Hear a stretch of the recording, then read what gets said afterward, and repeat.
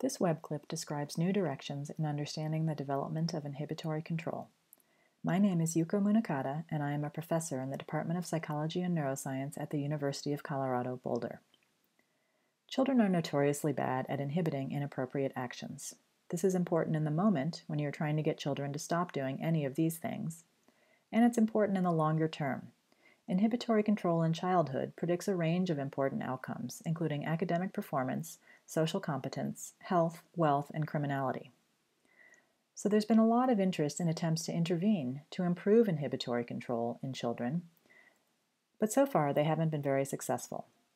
I'll talk about theoretical frameworks we've developed that provide a new way of thinking about inhibitory control, and I'll show how we've built on these frameworks to develop targeted interventions that improve inhibitory control in children. So I'll start with a theory, and there are two parts. The first is that children transition from a reactive form of control, engaged in the moment, on the fly, as they need it, to a proactive form of control, engaged in advance in anticipation of needing it. Most developmental theories of cognitive control, including mine, had assumed that proactive control develops from infancy.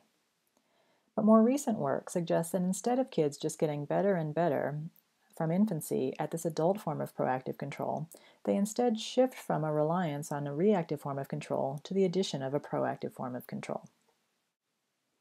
As one example from my lab, we presented children with the child-adapted version of the AXCPT task, where they were presented with a series of stimuli and they were instructed to respond when they saw one particular sequence, an A followed by an X, in this case, a SpongeBob followed by a watermelon. So when SpongeBob was followed by the watermelon, they were instructed to hit this happy face. And these trials occurred the majority of the time, so that hitting the happy face was the prepotent response in this task. On all other sequences, so SpongeBob followed by the Slinky, or Blue followed by the watermelon or the Slinky, they were instructed to hit the sad face, and in that case they needed to engage cognitive control to overcome the prepotent response of hitting the smiley face. We know from work with adults that adults can proactively maintain cue information to prepare their response. So at the point in time where they see the cue here, they can begin to prepare. In the case of SpongeBob, they can begin to prepare uh, to hit the happy face since that's the most likely outcome. And in the case of Blue, they can prepare to hit the sad face. When we tested children in this task, we found that eight-year-olds looked very much like adults in showing proactive profiles of responses, preparing at this point in time when they saw the cue for the most likely response.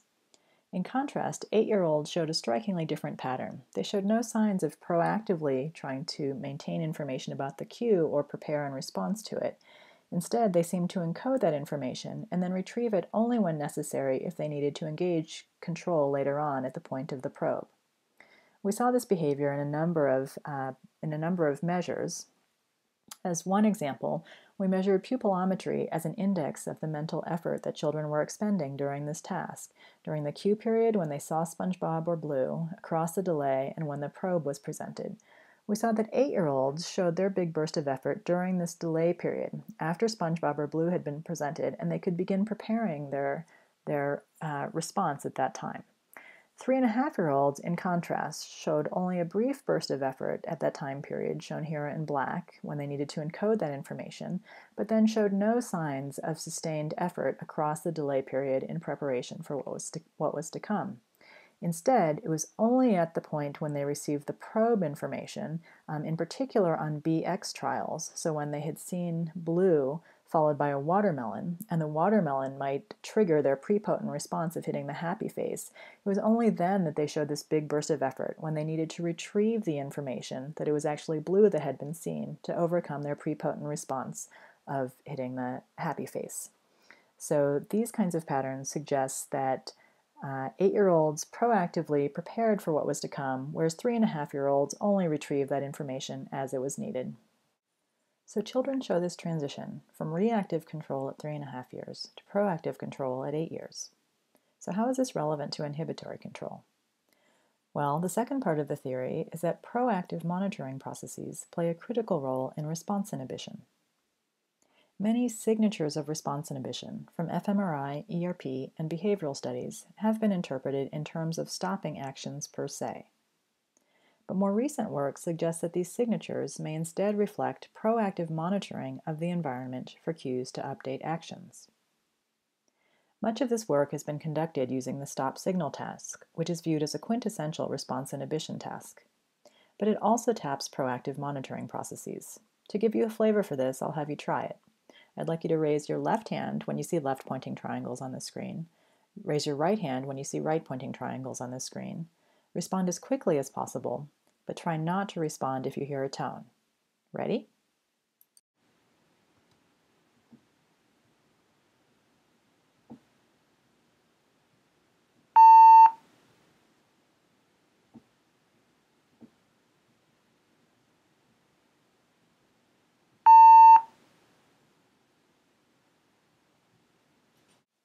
So the stop signal task is viewed as a quintessential response inhibition task because you need to override planned or ongoing prepotent motor responses.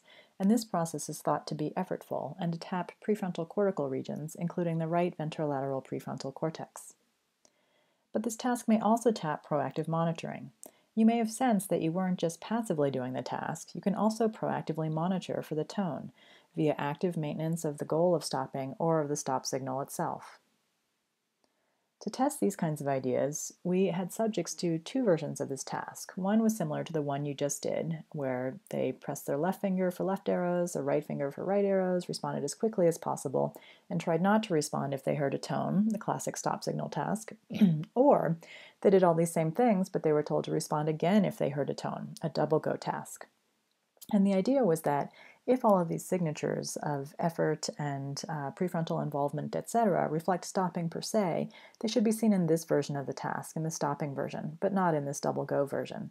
Whereas if the demands were more about the overall monitoring processes, proactively monitoring for these tones that signaled a change in response, then you should see those signatures across both the stopping and the double going version of the task. And what we found uh, across a number of studies is that monitoring rather than stopping seemed to explain the response inhibition signatures. As one example, in an fMRI version of this task, we found that this stopping version of the task reliably activated the right ventrolateral prefrontal cortex, replicating a lot of prior work.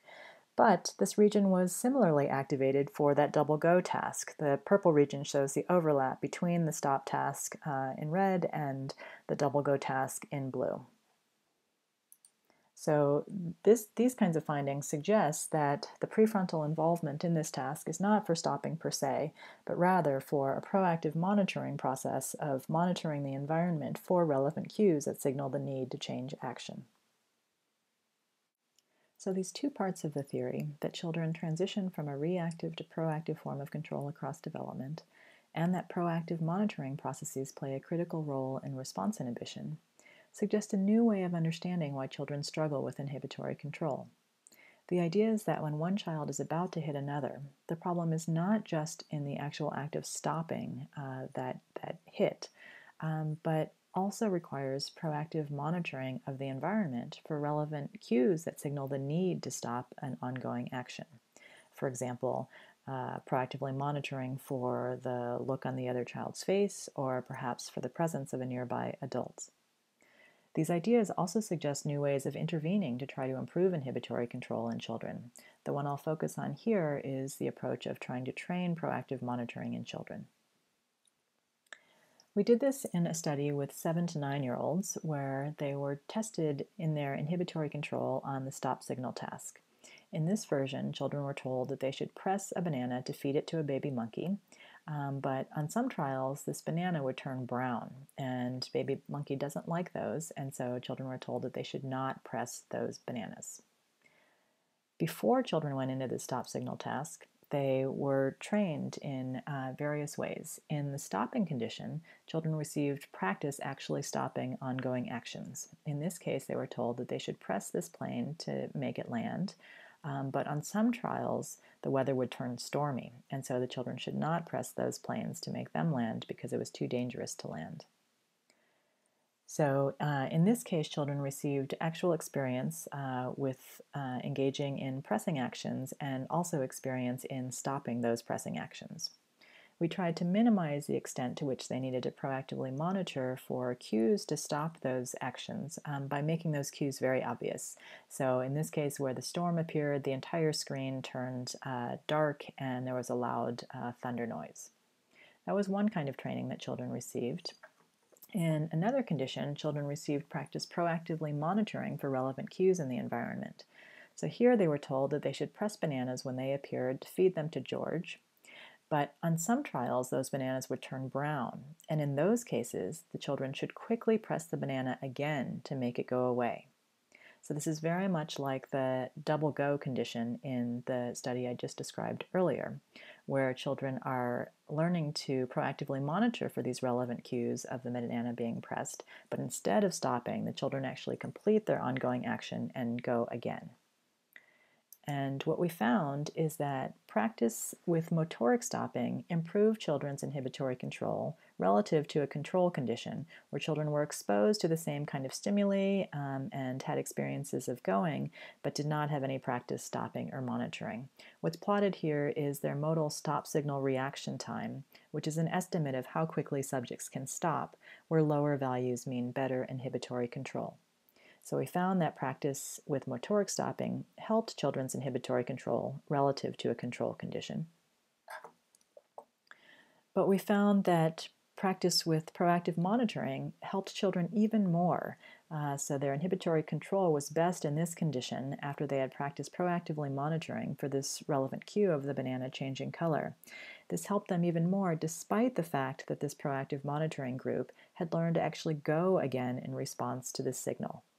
The analogy I like to use for how counterintuitive and compelling this finding is, is thinking about going back to that example of one child hitting another. The idea here is that if you wanted to, to help children to inhibit uh, their hitting of other children, what this intervention suggests is that you could teach them to proactively monitor for relevant signals in the environment, like the presence of another adult, or even better, uh, the look on the child's face who's about to be hit. Um, and the analogous intervention here would suggest that they should learn to watch for those cues, and when they detect them, they should uh, hit the other child twice. This is not something I'm condoning. Um, I just use this analogy to highlight how, how compelling this intervention is that we're training kids to actually learn the wrong response um, in, uh, association with these cues, but that seems to help them anyways because it's so important for them to learn to monitor for these cues in the first place. So, inhibitory control is important in the moment and in the longer term. Our work suggests that we can build on theory to develop targeted interventions. These interventions, in turn, inform theoretical debates, for example, about developmental changes in the temporal dynamics of control and about the importance of proactive monitoring and response inhibition. I'd just like to acknowledge uh, current and recent graduate students and postdocs from my lab who have played a major role in developing and testing these ideas, and the grant agencies who have funded this work. Thank you very much.